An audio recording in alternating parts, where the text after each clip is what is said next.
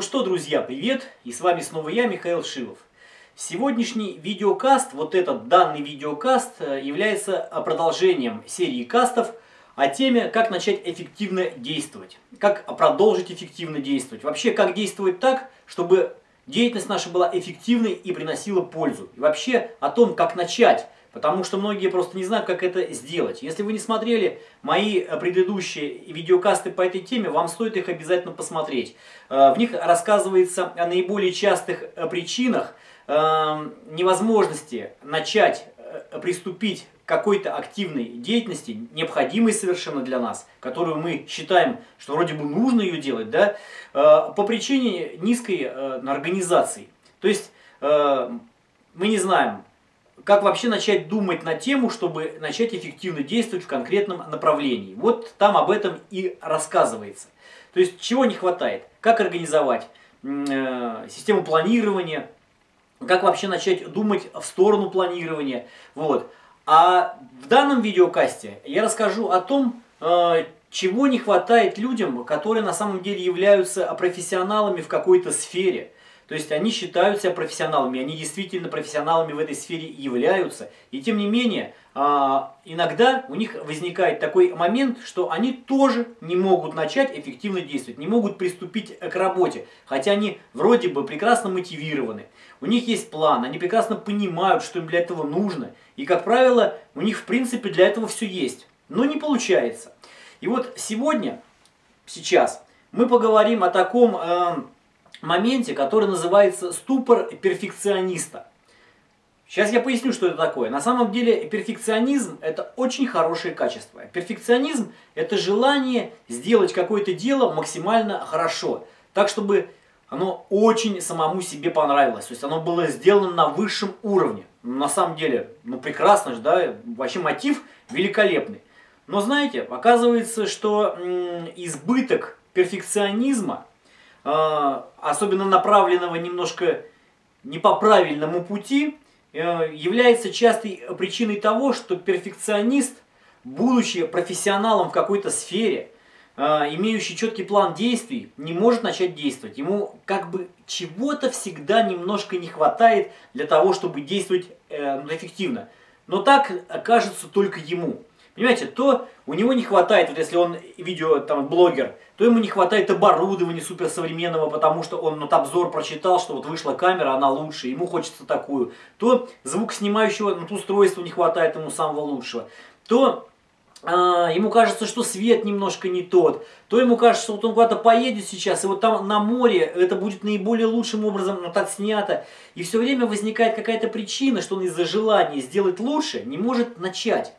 И это оттягивается, оттягивается, оттягивается, оттягивается вплоть иногда до тех пор, когда, э, э, собственно говоря, пропадает даже э, э, нежелание действовать, а пропадает целесообразность э, в работе по данному направлению. То есть актуальность уже становится совершенно не та. Пока человек ну, откладывал свое действие, актуальность исчезла.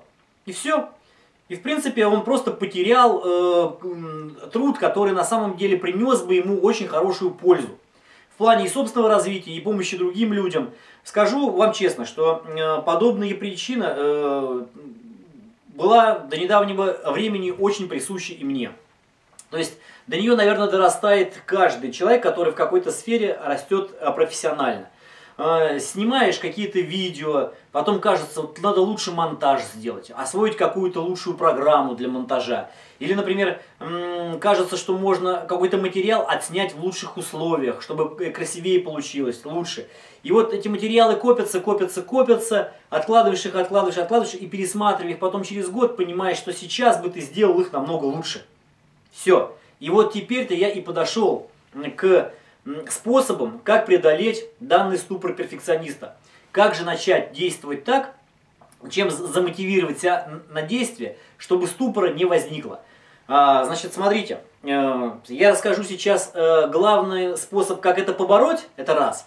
А потом расскажу, эм, как это надо делать. Смотрите, самый простой способ побороть ступор перфекциониста – это дать себе понять, То есть, ну, объяснить себе, просто обычный перфекционист этого не понимает, что он всегда, как профессионал, будет расти и дальше. И что бы он сейчас не сделал, как бы он это хорошо не сделал, пусть самым-самым лучшим образом, что лучше сделать уже нельзя.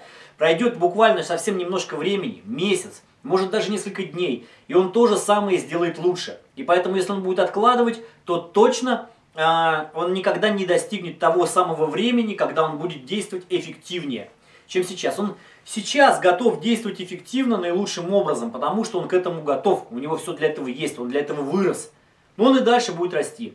И тому подтверждением очень часто служат э, отзывы э, там, окружающих людей или клиентов, или еще кого-то, когда они говорят, слушай, ты, ты классно все сделал. И они, если показать им черновые материалы, а, кстати, покажите им, или просто покажите э, плоды своей деятельности, снищите у них, э, скажем так, одобрение.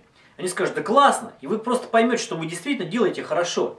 И как бы вы хорошо не сделали, вы все равно потом сделаете лучше. Захотите, апгрейдите, усовершенствуйте, перевыпустите, сделайте рестайлинг своей деятельности любой, и все нормально получится у вас, понимаете? Все будет очень хорошо.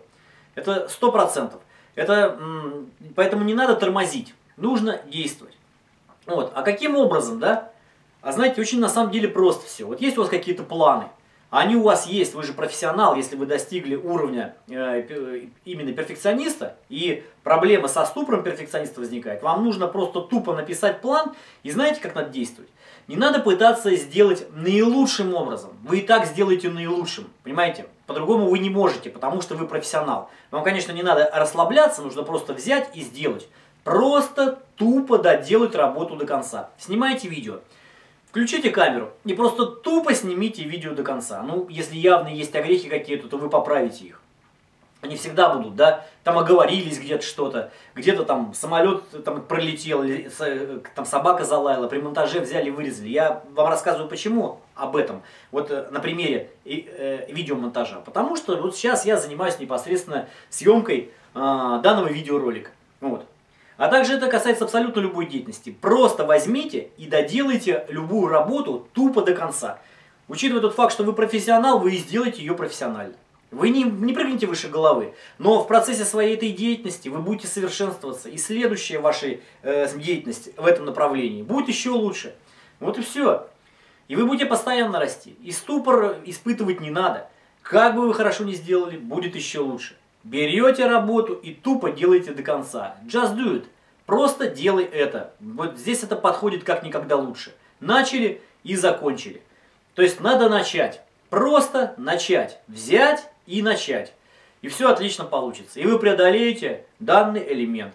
Вот уверен, что абсолютное большинство тех, кто занимается профессиональным каким-то видом деятельности, с этим сталкивалось. И сильно это мешало и переживали по этому поводу. Вот вам готовые решения. Пользуйтесь. Удачи, друзья. Увидимся в следующем видео. В следующем видео я расскажу о таком э, моменте, который еще хуже, чем ступор перфекциониста. Называется он прокрастинация. Да. Расскажу, как, какая она бывает. Во-первых, расскажу, что это такое. Расскажу, какая она бывает. Какая она бывает для низкоорганизованных людей. Какая бывает для высокоорганизованных людей. Где она еще хуже. Ну что ж, до встречи. Всем пока.